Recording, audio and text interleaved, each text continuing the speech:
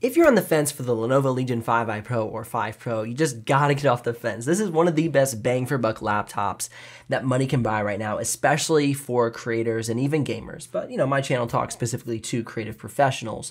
This is about a $1,500 laptop, whether you buy the Intel version or the Ryzen 5 version, and nothing else comes close at that price point. From the build quality to the performance to the customization in the Lenovo Vantage Center, this thing just has so much to offer. We're gonna dive into all of that right now. We're gonna talk about some things that I love, some things that I don't like too much, and overall, yeah, I, I think you should buy this laptop.